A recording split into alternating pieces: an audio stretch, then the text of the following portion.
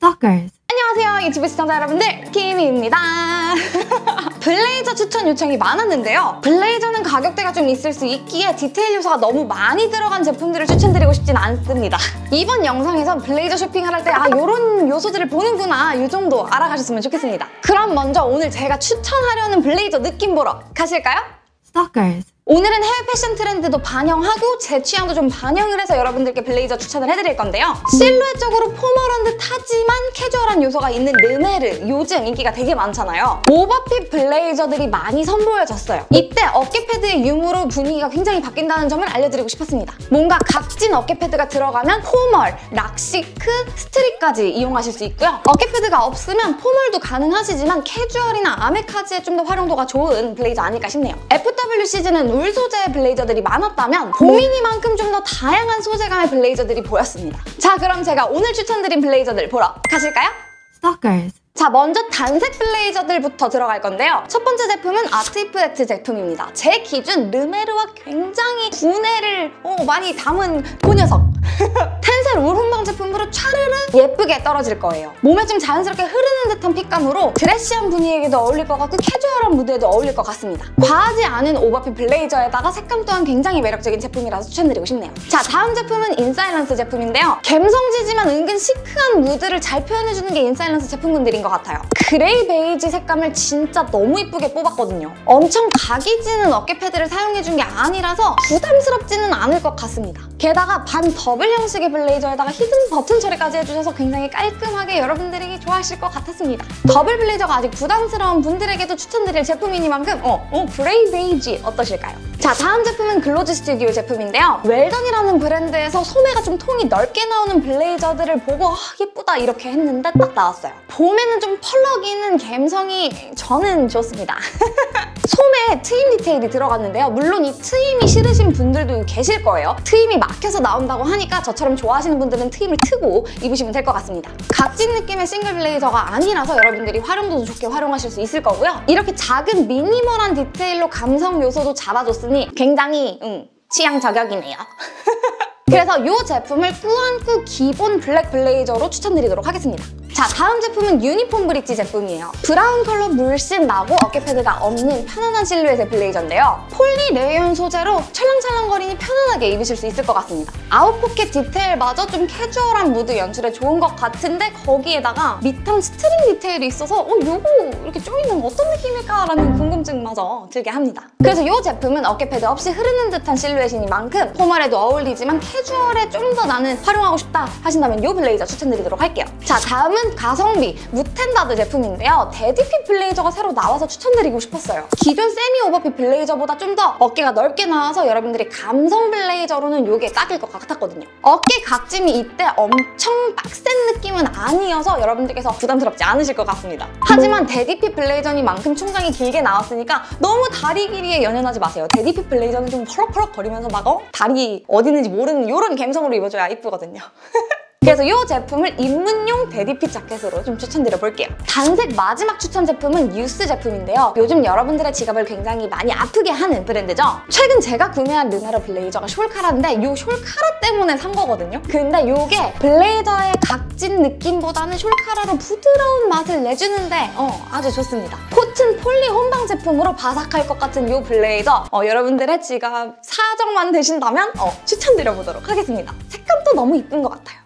Stalkers. 자 이제부터는 체크 블레이저 추천을 드릴 건데요. 개인적으로 체크 블레이저 자체를 엄청 선호하는 스타일은 아니에요. 체크가 좀 뚜렷한 제품군들은 유행을 탈 수 있을까라는 걱정도 들기도 하고 뭔가 물릴 수 있다는 단점이 있기는 한 것 같아요. 그래서 제가 눈여겨본 첫 번째 제품은 COQ 제품입니다. 어깨가 살짝 drop되는 loose한 실루엣의 블레이저인데요. 체크 자체가 굉장히 은은하게 보일 듯 말 듯 들어가서 추천드리고 싶었어요. 제가 말했듯 물릴 수도 있기 때문에 가격적으로 좀 가성비인 제품으로 골라봤습니다. 그래서 체크 블레이저 뭐 첫 입문용으로 좋지 않을까 싶네요. 그리고 다음 제품은 드로우핏 제품입니다. CO2 체크가 조금 내 성에는 안 찬다 하시는 분들께는 이 제품 추천드릴 텐데요. 이 제품 체크 또한 은은하고 좀 부드러운 편이에요. 체크 자켓을 구 매하실 때 체크 패턴에 대비되는 컬러가 들어갔을 때는 한 두세 개 정도의 컬러만 사용된 제품을 추천드리기는 합니다. 어떤 분들에게는 이 체크마저도 아, 너무 잔잔바린데 하실 수 있겠지만 이런 제품이 진짜 오래 입으실 수 있다고요.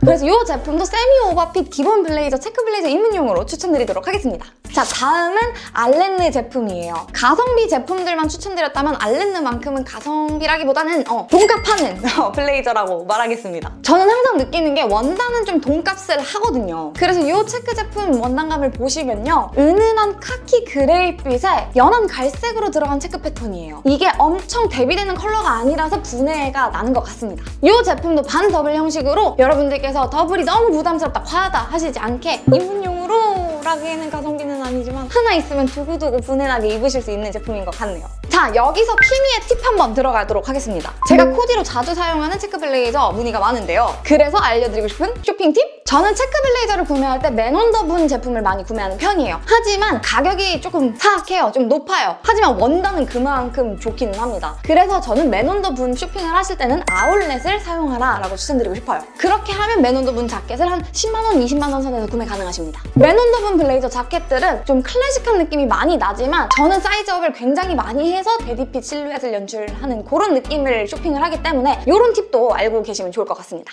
Stalkers. 이제부터는 요즘 트렌드가 반영된 나일론 바시락 제품들입니다. 투어 제품인데요. 미니멀 깔끔 세미 오버핏으로 나왔어요. 소재적으로 가벼워서도 편하겠지만 간절기 아우터 느낌은 막 구길 수 있다는 점인데 나일론이 함유되면 막 구길 수 있기 때문에 추천드리고 싶기는 해요. 그리고 나일론 그 특유의 소재감 때문에 캐주얼한 무드가 많이 나기 때문에 formal 캐주얼 왔다 갔다 하시기 굉장히 좋다고 알려드리고 싶어요. 그리고 요 개인적으로 요 charcoal gray 컬러 굉장히 이쁘네요.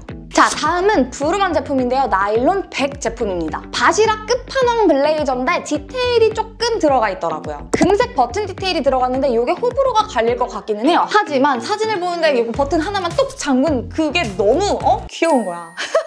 그리고 실루엣적으로도 city boy 느낌이 물씬 나도록 소매통이 넓게 나와서 굉장히 마음에 들었습니다. 갬성 city boy 맛 나일론 블레이저로 추천드릴게요. Stalkers. 자, 이제부터는 소재적으로 좀 특별한 제품이에요. 첫 번째 제품은 라퍼지 제품인데요. 가성비 하면 라퍼지인데 정말 가성비 제품을 내주셨습니다. 라퍼지의 comfort dry 소재. 발수 가공 처리되어 있죠. 잘 늘어나죠. 가볍죠. 빨리 마르죠. 전투용 블레이저입니다, 여러분. fit적으로도 굉장히 귀엽게 나왔어요. 통은 넓지만 소매가 좀 짤막하게 나왔거든요. 그래서 이 소매를 이렇게 접어 올린 다음에 막 꾸겨 있는 듯한 연출. 어, 이쁠 것 같아요. 그래서 이 제품은 블레이저를 이렇게 갇혀있는 듯한 스타일이 아닌 그냥 진짜 전투용 블레이저 찾고 있다 하신다면 추천드릴게요. 반바지랑 입어도 이거 괜찮네요. 자 다음 제품은 에노의 감성 플리츠 블레이저인데요. 이건 실제로도 실물이 굉장히 궁금한 제품이기도 해요. 원단감 자체에 플리츠가 좀 납작하게 눌려서 들어간 제품인데 옴므 플리세 사기에는 어, 지갑이 굉장히 아프죠. 그래서 그런 맛을 낼 수 있는 블레이저로 이 제품 추천드리는데요. 뭔가 위아래 세트로 입어줘야 더 매력적일 것 같은 제품이에요. fit적으로도 semi over 편안한 실루엣으로 나왔는데 이제 원단감으로 이제 포인트를 빡! 그래서 뭐 결론적으로는 제 눈에 굉장히 이뻐 보입니다.